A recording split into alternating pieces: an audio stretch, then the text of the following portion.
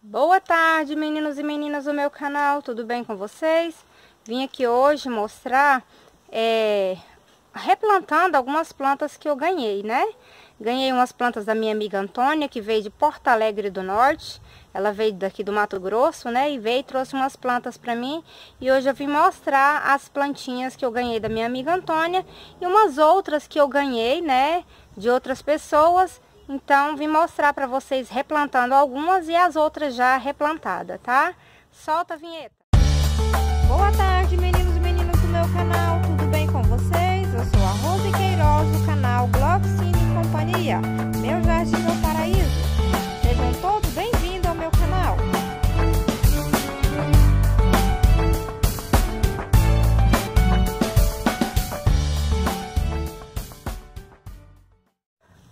Bom, gente, aqui tá algumas plantas que eu ganhei. Essa daqui, ó, ela dá uma touceira. Ela é muito bonita, ela fica no sol, a folha dela fica cor de rosa. Ela é uma variegata, não sei o nome dela ainda, gente, mas eu vou pesquisar, depois eu falo pra vocês. Essa aqui eu ganhei da minha irmã. Essa daqui, gente, ó, eu até mostrei numa live aí, é uma tomentosa tá? O nome dela é meio, complicado, mas é uma tomentosa também ganhei da minha irmã. Tá vendo que ela tá suja? A minha irmã não gosta de planta. Essas plantas estão plantadas no chão, na casa dela, porque ela mora na casa da, da ex-mulher do marido dela. Aí ela plantou esses cactos lá no chão e eu trouxe essas duas palmas aqui, ó. Essas duas tomentosas. Eu plantei aqui nesse vaso aqui, ó. Tá até saindo raizinha lá já, mas ele tá muito pequeno aqui e eu vou deixar, eu vou replantar ele, vou colocar no vaso maior, tá? É, eu deixei descansar, tá? Porque quando, quando a gente pega algum cacto, algum tipo de cacto, a gente tem que deixar cicatrizar. Então eu deixei cicatrizar por 10 dias depois que eu replantei. Aí quando você replanta, logo ele já sai raiz, ó. Mas eu vou, vou replantar ele de novo, porque ele tá solto aqui, esse vaso é muito pequeno. Essa 11 horas aqui, ó, ela é dobrada, mesclada. Ela estava plantada ali junto com a outra planta, mas eu vou colocar ela no vaso só dela. Essa eu ganhei da, da irmã Iris. Essa daqui é um cacto amendoim. Também estava ali misturado com outra planta, vou replantar. Essa eu ganhei da Iris, é outra Iris, viu gente? Essa variegata aqui também, essa suculenta variegata, eu ganhei da Iris. Essas catacetinha galeandra aqui, ó, tudo eu peguei no, no pé de pau lá na casa, no lote do irmão Rômulo. E aí quando meu marido subiu lá, eu, tinha, eu vi essa samambaia também lá, você pode ver que a casca é mesminha, é um pé de ipê. Aí eu pedi ele para pegar, porque o lado mato eu não peguei, né? Porque no mato não pode. Mas essa aqui tava no lote dele lá, num pé de ipê que tem lá. Ele tem um loteamento enorme lá. Aí são várias mudinhas de catacetinha. Essa daqui foi minha amiga Antônia que trouxe. Gente, ela trouxe uma epícia da folha roxa. Ai, gente, como eu tô feliz. Eu vou plantar ela no vasinho, já tá até aqui com terra, ó. Porque as minhas epícias todas são nesses vasos redondinhos. Ela, ela trouxe essa bromélia. Trouxe essa denfal aqui, ó, é uma denfal. Trouxe essa aqui que é um espatoglotes. Eu não sei se é um guiquilata ou se é plicata. Ela diz que é uma folha bem roxa. E aí eu vou replantar. Essa daqui é um oncídio ceboleta. Eu não sei se é da mesma que eu tenho, mas eu acho que sim, porque da região do Mato Grosso tudo é igual. Essa aqui é uma mini orquídea que ela trouxe. E essa aqui, gente, é uma catleia. Tô muito feliz. Eu tenho mais plantas que eu ganhei. Esse cacto aqui, ó, que é o rabo de macaco, eu acabei de replantá-lo. Só tô pra vocês, porque ele não queria se desenvolver. Eu conversando com a amiga que tem um canal aí, que se não for me engano é a Nádia, ela disse que eu tenho que replantar ele. E aí, depois eu vou fazer um vídeo só com as plantas que eu comprei, as novas e as que eu troquei. Esse aqui, ó, ele já tá aqui bonito, foi eu que ganhei da, da Sueire, tá? Esse aqui eu ganhei da Sueire é um coleus, coração magoado. Então, gente, eu vou pausar aqui e vou mostrar para vocês alguns replantes.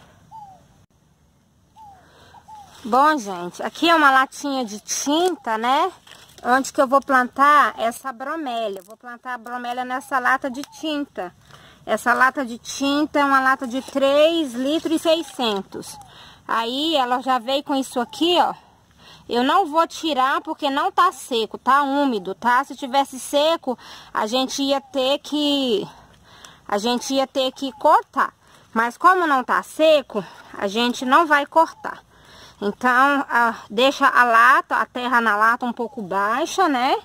E depois a gente vai repondo assim, ó. Não pode colocar muita terra, senão depois vai ficar derramando. E aí, como as orquídeas, as bromélias, elas têm que sentir firmeza nas raízes. A gente tem que apertar bem o substrato para ela não morrer. E aí, gente, a gente vai deixar ela na sombra até ela se recuperar. Porque ela veio de viagem, né? Ela veio de Porto Alegre do Norte. Essa amiga minha, ela veio de Porto Alegre do Norte, Mato Grosso. Eu conheci ela pelo YouTube, a gente fez amizade. Ela veio e trouxe essas plantas para mim. Eu esqueci de mostrar essa, ó gente. Essa aqui é uma vinca, é uma Maria Sem Vergonha. Ela trouxe os galhos para mim, porque eu vi numa foto que ela postou no grupo. E aí eu falei pra ela que eu queria pra ela trazer semente, mas aí não deu semente, ela trouxe os galinhos, as estacas. Espero que pegue. E aí, aqui a bromélia já está bem firme aqui, então está replantada. Agora, a, a orquídea, essa aqui, ó, que é a orquídea, ela estragou um pouco, né? A orquídea, ai, ai. Aqui, as raízes dela tá bem seca. Então, como as raízes estão secas, o que, que a gente vai fazer? A gente tem que cortar as raízes, certo? Para não tirar a força dela. A gente vai cortar todas as raízes que estão secas. Secou. Oxe, eu cortei até uma verde aqui, gente. As que tiver verde, não é bom vocês cortar. Mas eu aprendi, né, com... Eu aprendi com o Sulemar, né, que a gente deve cortar as raízes para replantar, para vir raízes fortes, novas e bonitas.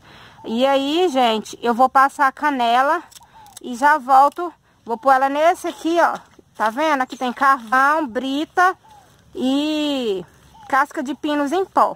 Então, eu vou... Essa aqui não vai ter jeito de mostrar, porque ela tá... Tá vendo que ela tava no árvore? Ela tá muito assim. Mas eu vou colocar ela aqui e vou tentar colocar, é, firmar ela aqui, porque o rizoma da planta, o que que é o rizoma? Gente, isso aqui é o pseudobulbo, isso aqui, ó, é o pseudobulbo, tá certo? E isso aqui, aonde que vem os pseudobulbo, é o rizoma. O rizoma, ele não pode ficar coberto. Tá vendo que tem uma raiz aqui, mas ela tá verde, essa eu não cortei tá? Eu vou replantar aqui, ó, vou firmar com os palitinhos de churrasco e volto mostrando pra vocês. Bom, gente, a catileia tá replantada. Aí as pessoas vão perguntar, Gente, mas a catileia tá deitada. Realmente, ela tá deitada porque ela estava numa madeira. Mas quando a gente planta ela assim, a, a tendência dela é levantar esses bulbos aqui. Ela não vai ficar deitada. Ela vai vir e vai levantar esses bulbos. Então, depois eu faço um vídeo de atualização mostrando, né, o que que, tá, o que que aconteceu. Se ela levantou ou não. A minha intenção é fazer com que ela levante, né, esses pseudobulbos para cima.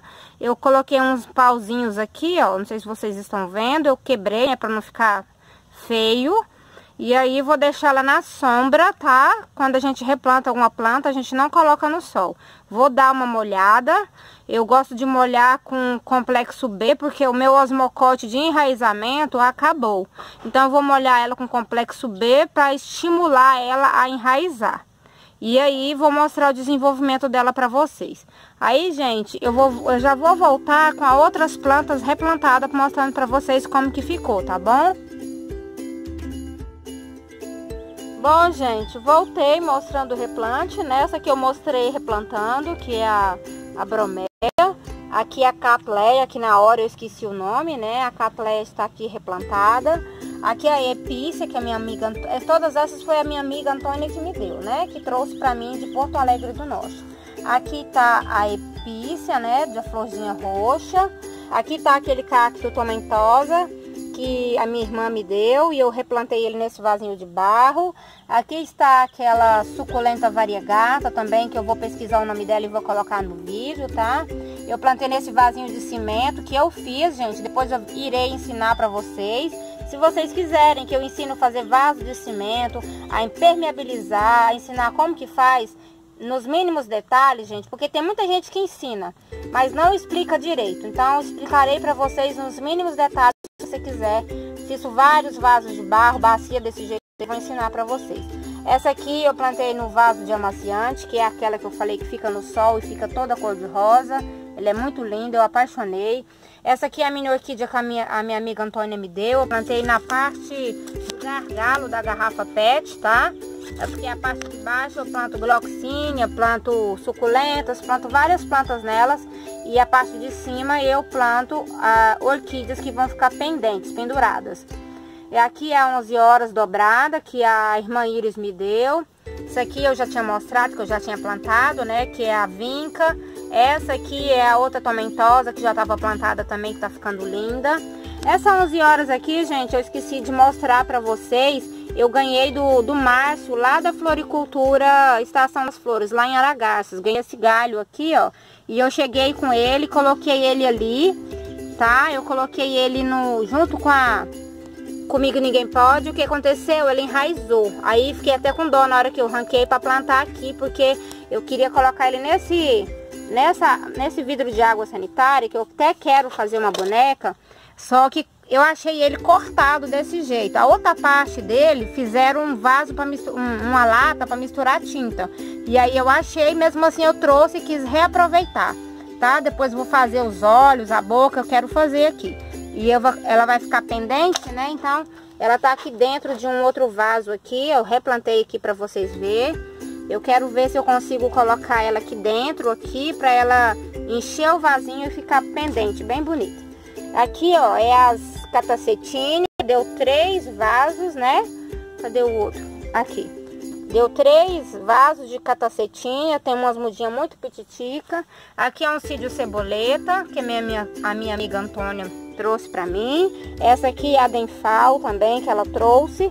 E aqui tá a espatogloss, que eu não sei se é aplicata se é unguiculata. Mas creio que é aplicata. O substrato eu vou ensinar no próximo vídeo como fazer o substrato para orquídeas patoglotes, para 11 horas, para epícia, tá? Para suculentas, tá? Esse é o substrato que eu faço. Vocês podem ver que não tem areia. Ensinarei no próximo vídeo. Espero que vocês tenham gostado. Fique com Deus e até o próximo... Ah, gente, peraí. Aquela lá, ó, que é a, aquela samambaia é, matricária, eu não trouxe, eu não plantei ela porque eu fiquei na dúvida se eu plantaria na, no substrato ou na terra. Eu até preparei aquele vasinho ali para ela, mas não replantei, tá? Vou pesquisar, depois eu, eu ensino vocês. Beijo, fique com Deus e até o próximo vídeo.